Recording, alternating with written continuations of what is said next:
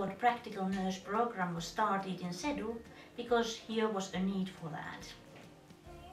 We need more foreign people to South Ostrobothnia to work here in social and health care.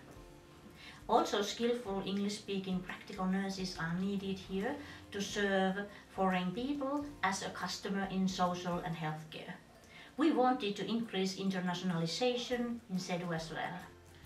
Um, I didn't have any doubts about studying both English and in Finnish because it was easy and a natural choice for me and also because I felt that it opens more opportunities to work both in Finland and abroad.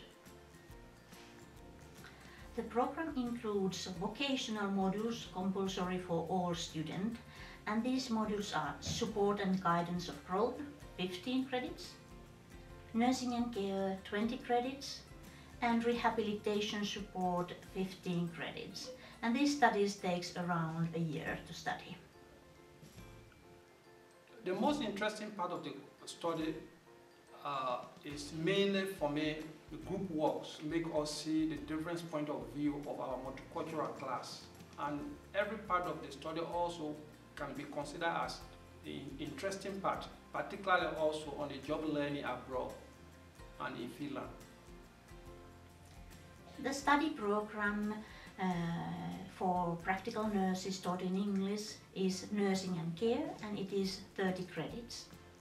Uh, in the first year I was working in daycare and a healthcare center and in the second year I'm going to work in home care and uh, also in healthcare center and in hospital settings. Our studies gives us possibility to work in all kind of place in social and healthcare field.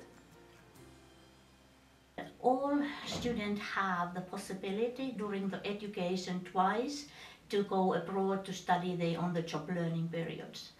And these options they have in UK, in Malta, in India and in Uganda.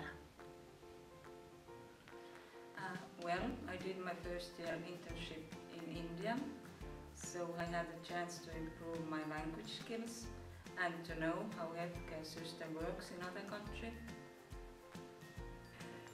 Mm, your practical nurse group is very nice to teach.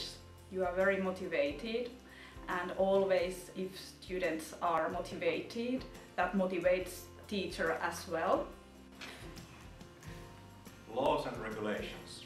Pediatric care. Youth care. Creative activities and sports. Drug care. Anatomy and physiology. Elderly care. Health promotion. Home care. Nursing and the care. That's what we do.